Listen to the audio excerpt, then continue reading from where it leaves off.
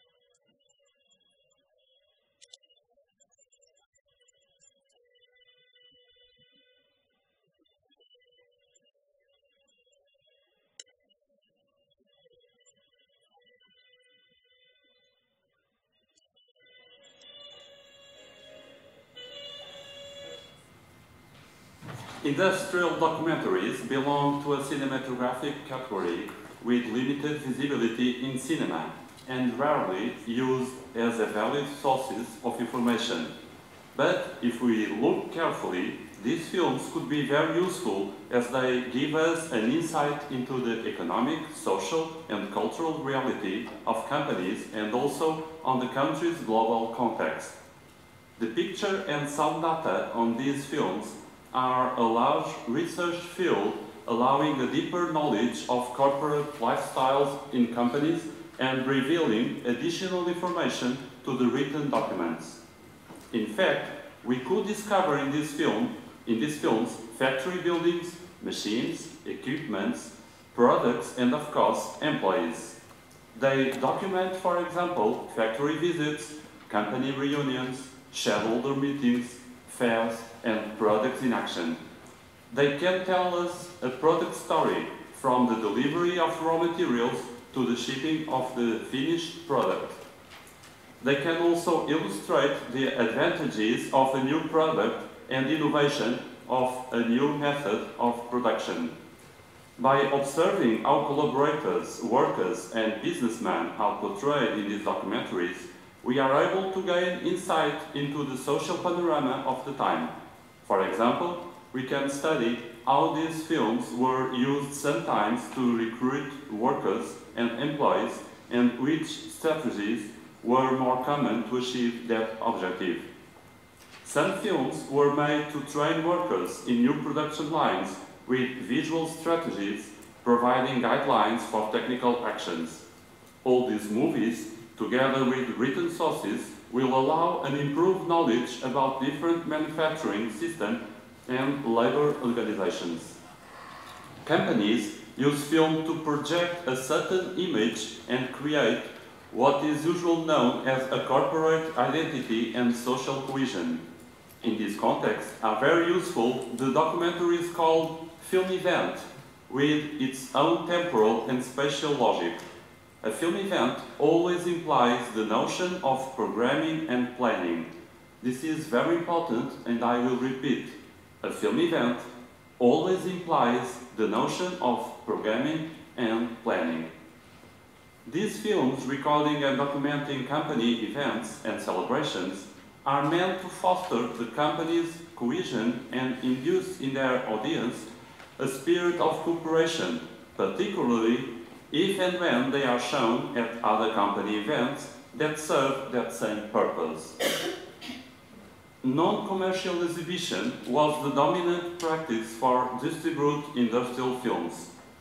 Using the company's own channels of distribution and other non-commercial channel, channels, industrial films was screened nationally and internationally at trade fairs, in schools and universities, in churches, in social and economic associations, as well as at public and private institutions, like in film clubs, at trade events and lecture, lecture tours, in consulates and embassies, etc.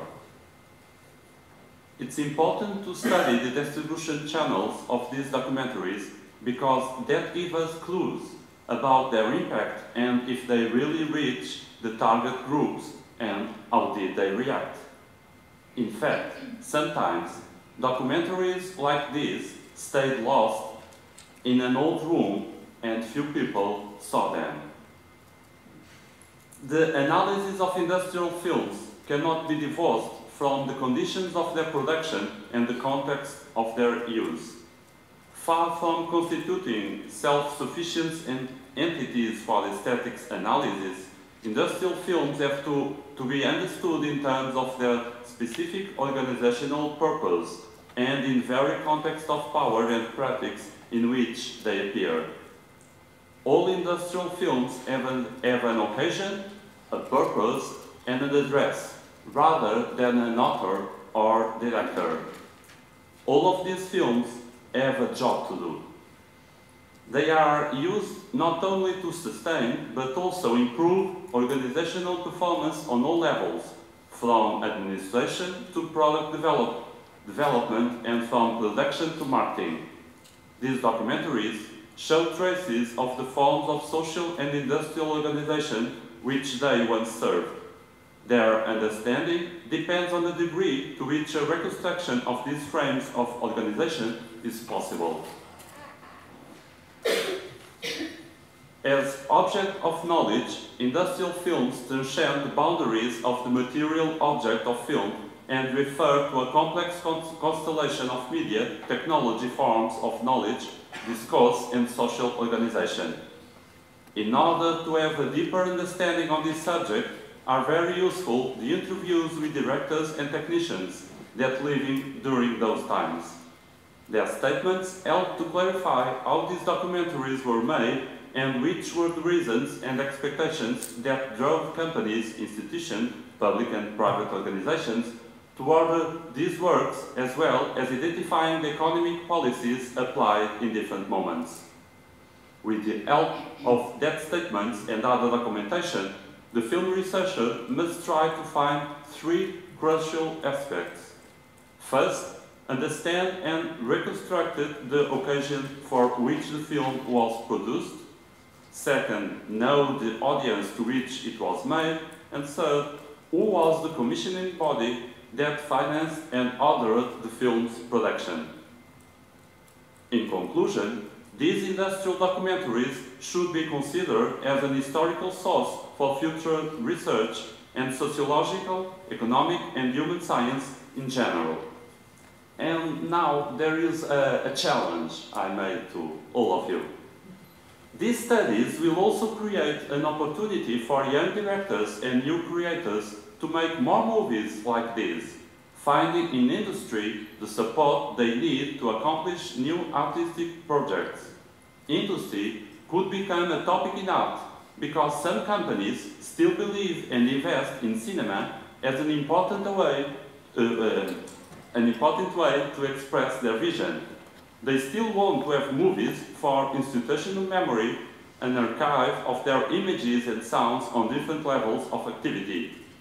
These old images may become in present days a source of initiatives and projects on top of being a piece of lost memory.